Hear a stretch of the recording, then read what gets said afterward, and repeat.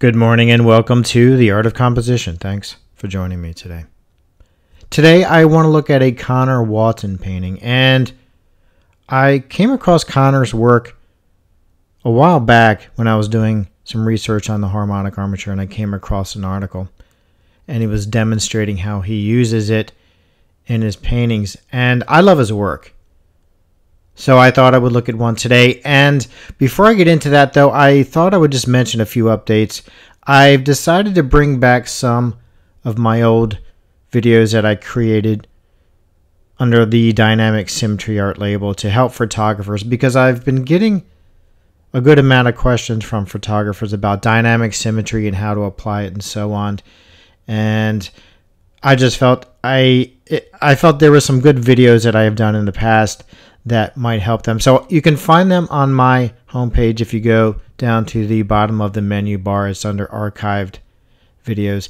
In the videos, there's a section where it says help support dynamic symmetry art. I don't take donations anymore. This website is a non commercial site, and I don't take donations and I don't sell any products.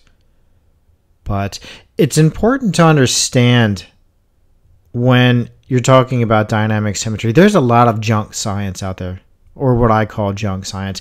It's information that has not been verified to any great extent. And I see this a lot with dynamic symmetry. One of the articles that I came across a while back was it was a series of videos supposedly proving that Cartier-Bresson used dynamic symmetry. And the video wasn't proof at all. It was from a page from the book The Decisive Moment. And if you understand design and you take the time to do a little bit of research, you'll discover that that's not proof at all. And I created a video based on that. I stumbled on an article where the same photographer is coming back now and saying, well, it really doesn't matter whether or not he's using dynamic symmetry. But, but again, see, you're missing the point. If you're going to come out and make these claims when it comes to this information, and then you retract what you said because somebody proves you wrong, it just, it just makes the point clear that you really have to take the time to verify some of this information that you put out there. And I'm not talking about being perfect because I'm far from perfect when it comes to some of this information, but I do go out of my way not to make claims that I can't verify. For example, stating that Cartier-Bresson uses dynamic symmetry in the sense that, you know, this is proof. It's, that's very difficult to prove because there's really nothing out there that would lead to that proof. Now you can use the 1.5 armature and analyze some of his work, and I've talked about that, and I do do that in some of my own work, but the 1.5 armature is not dynamic symmetry. It's not a dynamic symmetry rectangle. And in order to bring the 1.5 into dynamic symmetry, you have to overlap root 4s and I learned that from Myron Barnstone when I went down to visit him. And it's interesting because I remember the visit. I was sitting down with him and he was taking tracing paper of root 4s and laying it over some of his photographs, Bresson's. And even at that time, I was like, no. Photographers don't think this way. I've been a photographer for a long time, and there's just no way Bresson was doing that. So I don't buy that. And even though you can overlap root 4s to bring it into dynamic symmetry. Photographers will never do that. And I created a video explaining that. To accurately apply dynamic symmetry in photography, you have to crop your photographs unless you're shooting in a square. And I do have a video on that called, called How to Accurately Apply Dyna Dynamic Symmetry. All right, so let me take a look at this painting and just point out a few things. The first thing I notice is that there's a circular element going on here, and let me show you what I mean. I can draw a circle in this square. I believe it's almost a square. We're very close to it anyway. If I draw a circle,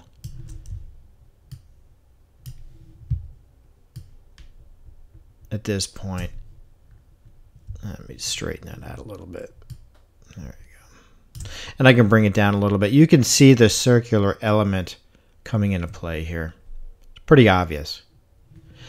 When you drop the harmonic armature on this painting, however, you'll see how Conor's using many of the diagonal lines, and let me show you what I mean by that.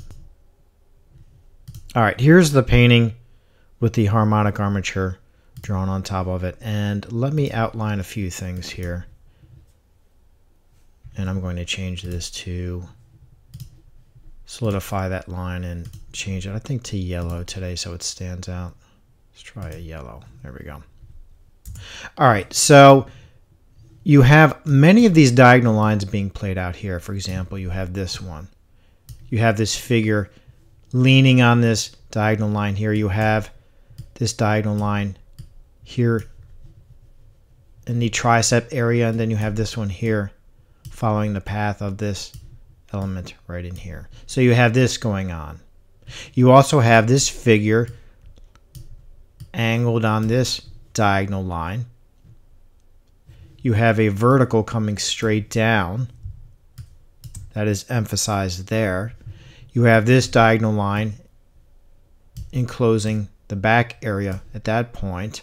You also have this diagonal line and this figure leaning into that as well. So it's really obvious. If I extend this diagonal line down though, it picks up this arm element here and then you have this diagonal line being played out in this angle here and it goes all the way down to this point. Now of course I can drop a horizontal line right here that picks up this element in this arm right there. So you can see how this is coming together. You also have this diagonal line being played out in this figure in the front of the thigh, the quadricep, right there. I can drop a vertical here that encloses this backside, and this is how the artist is using the harmonic armature.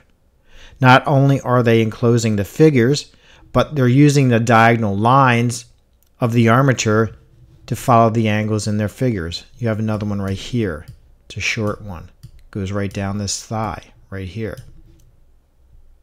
And then you have this vertical right here in the calf of this figure here. It's running behind this man. You can see how all this is coming together.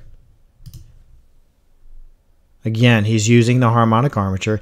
He is placing his figures on many of the diagonal lines in this armature, and then he's creating divisions from those diagonal lines. I hope this makes sense. Thanks for joining me today. I appreciate it, as always.